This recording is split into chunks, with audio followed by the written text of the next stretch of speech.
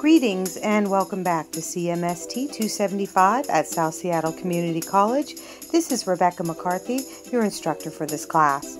Today I want to talk a little bit about an assignment we're going to do over the next two weeks, and this assignment is tracking transactive memory.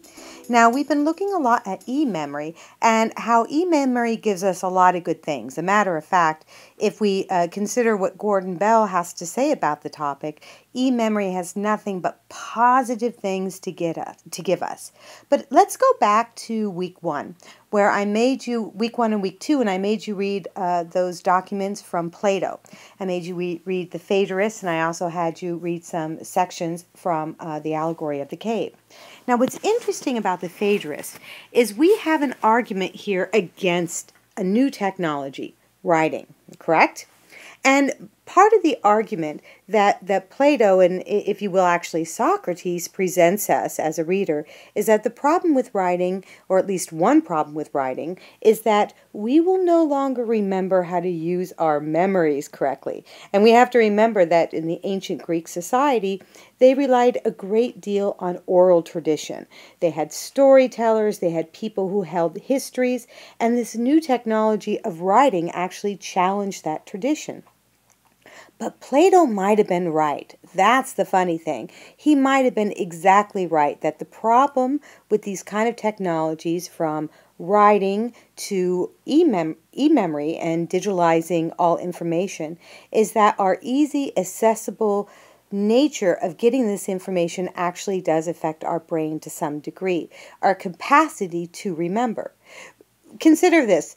I was when I was young, I could remember just about any phone number that was given to me, and I actually still remember the very first phone number that I got when I was a kid, 2965608. I remember that really well, and that is actually stuck in my long-term memory.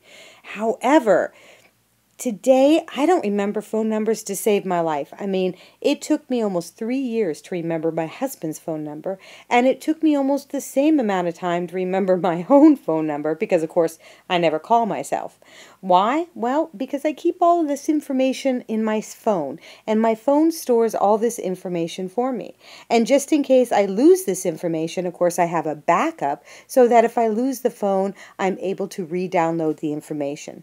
That's partly what I love Google so much for. I can keep all my contact information in there and I can sync it up with all my different devices. If one of my devices should fail with me, fail me, well, I do have this fail safe backup. But the problem is, is that having access to all this technology to remember information for us actually changes how we think. And it physically changes our brain too. There's some very interesting articles um, about some taxi drivers over in England. And for them to become a taxi driver, they basically have to memorize, if you will, all the streets in England and they have to know exactly where they're going and it's part of their test. But now that they all have GPS systems, they don't need to memorize all that information. And they so they analyze, the scientists actually analyze the brains of old taxi drivers, that is taxi drivers that have all the streets and information actually in their physical memory compared to a new breed of taxi drivers and these are the folks who actually are relying on GPS. And what they found is the physical brain was actually different because they were actually using different parts of their brain. It's pretty darn amazing stuff. Well, the more we all use technology, the more we start to rely on transactive memory.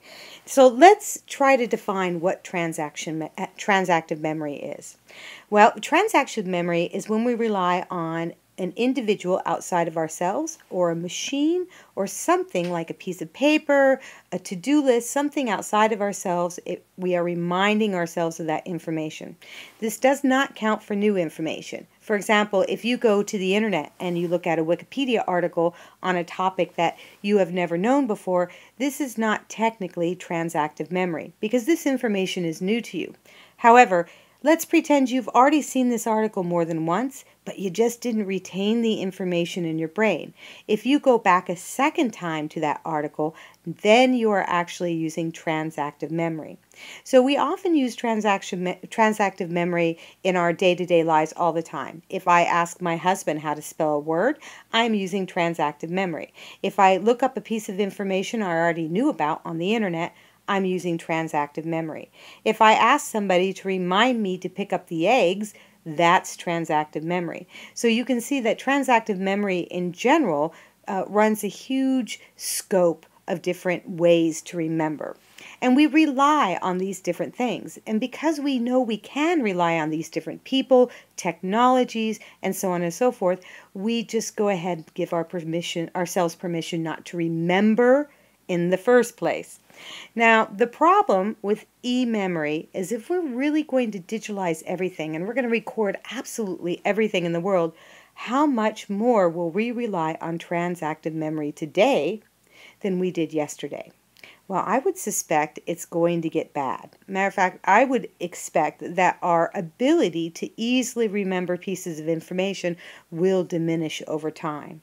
So let's take a look at how transactive memory actually affects our lives on an everyday basis. That's what this assignment for the next two weeks are about.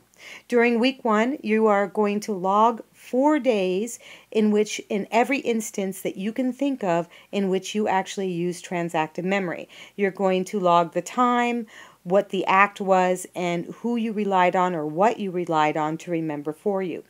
Now, you will probably have well over 10 instances a day.